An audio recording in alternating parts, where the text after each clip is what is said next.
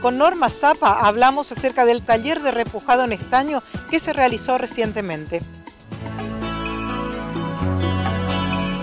Eh, la verdad es que esta ha sido una exposición un poco diferente a las anteriores porque no quiero hablar de alumnas porque las que concurren al taller están avanzando mucho y están haciendo cosas diferentes a las que hacían antes. ¿Qué han mostrado? Y mostraron de todo, desde las cajas, los portarretratos, los trabajos en vidrio, y se han empezado a soltar haciendo cosas eh, más escultóricas, más fuera de lo que es un marco específico, sino la pieza en sí.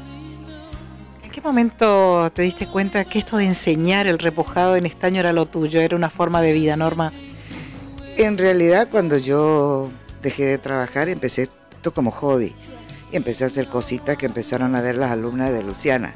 Y ahí empezaron a enseñar y empecé con 3, 4, 5 y hace 10, este es el año número 11 que estoy enseñando. O sea que fue una cosa que me fue llevando, no es que yo lo planifiqué ni surgió.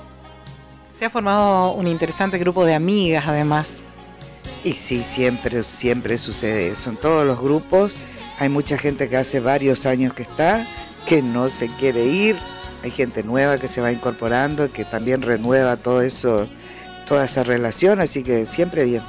En esta segunda mitad del año, ¿hay posibilidades de incorporarse a tu taller o están ya los cupos cerrados? Eh, en realidad los grupos están cerrados, tendrían que llamarme para ver, como yo tengo muy poquitos horarios, tendrían que llamarme para ver si se me va produciendo alguna vacante la posibilidad de incorporarlas. ¿Ya se piensa en una nueva exposición en la de fin de año? ¿Ya se está trabajando en eso? Si Dios quiere, no queremos adelantar nada porque lo que necesitamos sobre todo es el lugar donde ponerla, pero creo que sí.